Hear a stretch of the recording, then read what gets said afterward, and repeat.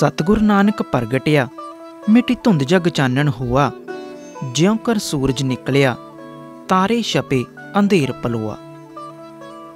ਨਿਰੰਕਾਰ ਰੂਪ ਸਭ ਧਰਮਾਂ ਦੇ ਸਾਂਝੇ ਰਹਿਬਰ। ਧੰਨ ਧੰਨ ਸਾਹਿਬ ਸ੍ਰੀ ਗੁਰੂ ਨਾਨਕ ਦੇਵ ਜੀ ਦਾ ਅਵਤਾਰ ਦਿਹਾੜਾ ਦੇਸ਼ਾਂ ਵਿਦੇਸ਼ਾਂ ਵਿੱਚ ਬਹੁਤ ਹੀ ਸ਼ਰਧਾ ਭਾਵਨਾ ਨਾਲ ਮਨਾਇਆ ਜਾ ਰਿਹਾ ਹੈ। ਇਸੇ ਖੁਸ਼ੀ ਨੂੰ ਮੁੱਖ ਰੱਖਦਿਆਂ ਗੁਰਦੁਆਰਾ ਤਪੋਬਨ ਟੱਕੀ ਸਾਹਿਬ ਮਕਸੂਦੜਾ, ਜ਼ਿਲ੍ਹਾ ਲੁਧਿਆਣਾ, ਪੰਜਾਬ ਵਿਖੇ ਵੀ ਗੁਰੂ ਸਾਹਿਬ ਜੀ ਦੇ ਆਗਮਨ ਦਿਵਸ ਦੀ ਖੁਸ਼ੀ ਵਿੱਚ ਸੰਤ ਬਾਬਾ ਦਰਸ਼ਨ ਸਿੰਘ ਜੀ ਦੀ ਰਹਿਨਮਾਈ ਹੇਠ ਤਪੋਬਨ ਟੱਕੀ ਸਾਹਿਬ ਵਿਖੇ ਰੈਣ ਸਬਾਈ ਕੀਰਤਨ ਕੀਤਾ ਗਿਆ ਅਤੇ ਤੁਰਕੀ ਬਾਣੀ ਦੇ ਸ੍ਰੀ ਅਖੰਡ ਪਾਠ ਸਾਹਿਬ ਦੇ ਭੋਗ ਪਾਏ ਗਏ। ਇਸ ਉਪਰੰਤ ਇਸ ਤਪੋਬਨ ਦੇ ਕੁਦਰਤੀ ਵਾਤਾਵਰਣ ਵਿੱਚ ਬਰੋਟੇ ਦੇ ਦਰਖਤ ਹੇਠ। ਪੁਰਾਤਨ ਮਰਿਆਦਾ ਅਨੁਸਾਰ ਦੂਸਰਾ ਸ੍ਰੀ ਅਖੰਡ ਪਾਠ ਸਾਹਿਬ ਆਰੰਭ ਕੀਤਾ ਗਿਆ।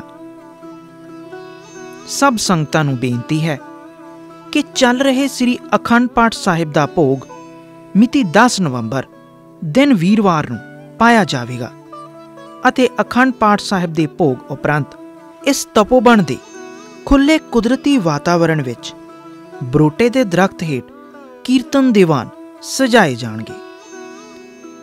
ਨਾਮ ਬਾਣੀ ਦੇ ਰਸੀਏ, ਸੰਤ ਬਾਬਾ ਦਰਸ਼ਨ ਸਿੰਘ ਜੀ ਨੇ ਸਭ ਸੰਗਤਾਂ ਨੂੰ ਚੱਲ ਰਹੇ ਰੱਬੀ ਬਾਣੀ ਦੇ ਸ੍ਰੀ ਅਖੰਡ ਪਾਠ ਸਾਹਿਬ ਸਰਵਣ ਕਰਨ ਦੀ ਪ੍ਰੇਰਣਾ ਕਰਦੇ ਹੋਏ ਕਿਹਾ ਕਿ ਸਭ ਸੰਗਤਾਂ ਨੂੰ ਚੱਲ ਰਹੇ ਇਸ ਮਹਾਨ ਯੱਗ ਦੇ ਵਿੱਚ ਬੈਠ ਕੇ ਨਿਰੰਕਾਰ ਦੀ ਬਾਣੀ ਸੁਣਨੀ ਚਾਹੀਦੀ ਹੈ ਅਤੇ ਆਪਣਾ ਜੀਵਨ ਸਫਲ ਕਰਨਾ ਚਾਹੀਦਾ ਹੈ।